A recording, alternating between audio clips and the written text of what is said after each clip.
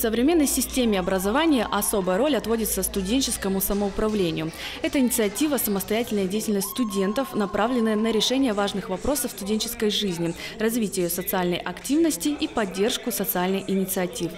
В Омской области с целью развития данного направления ежегодно проводится форум позиционирования органов студенческого самоуправления «Качество образования. Перезагрузка», организованный Омским государственным педагогическим университетом при поддержке Министерства по делам молодежи, физической культуры и спорта Омской области. Форум, который у нас э, проходит сейчас в Омском регионе, он как раз э, реализуется в рамках той программы, которая у нас э, сейчас действует на территории Российской Федерации. Форум сегодня это, по сути, завершающая часть тех мероприятий, которые происходило в течение учебного года. В этом году в работе четырех площадок форума принимали участие 120 ребят с вузов и СУЗов нашего региона. Участники обсудили работу студенческих молодежных СМИ, условия проживания, обучения, питания и стипендиальное обеспечение. Поговорили о возможности выполнения норм ГТО, а также студенческих спортивных клубах. Я э, являюсь экспертом на площадке лидера студенческого самоуправления. Э, на этой площадке собрались 28 э, э, лидеров своих университетах, лидеров студенческого самоуправления.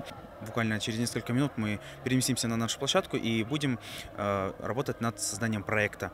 Единого проекта межвузовского форума, так называемой школы лидерства. Надеюсь, что проект будет реализован в течение э, следующего года.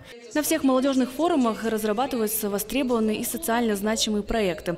Так, например, в рамках мероприятия «Качество образования. Перезагрузка» был реализован проект органа студенческого самоуправления и студенческих возможностей «Студфест», поддержанный грантом молодежного форума «Ритм-2015». Ребята представят лучший э, опыт организации деятельности студенческих объединений своих вузов, спортивных клубов, э, студенческих советов, профсоюзных организаций. А, лучший опыт будет представлен в виде а, докладов презентаций.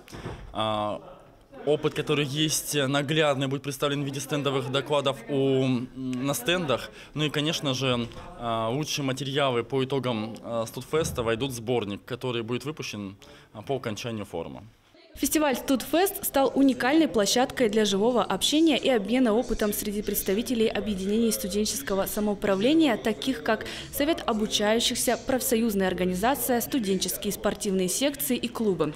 Ребятам из каждого учебного заведения было что представить единомышленникам. Например, учащиеся представили советы обучающихся, созданные согласно закону об образовании в Российской Федерации. Совет обучающихся создан в 2013 году в декабре, то есть в этом году ему будет уже два года. Инициативной командой у нас была создана большая конференция, собрана студентов, а, на которой мы выбрали представителей каждого объединения, каждого направления в институте. Итого на сегодняшний день у нас во два раза уже поменялся состав. И сейчас 20 человек – это представители абсолютно всех направлений института, будь то спортивное, научное или какое-то другое, плюс все студии и объединения. По итогам фестиваля «Студфест» участники, представившие лучшие практики студенческого самоуправления, были награждены дипломами Министерства по делам молодежи, физической культуры и спорта Омской области.